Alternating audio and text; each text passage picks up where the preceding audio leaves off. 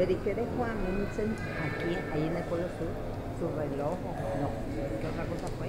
Un diario. ¿Eh?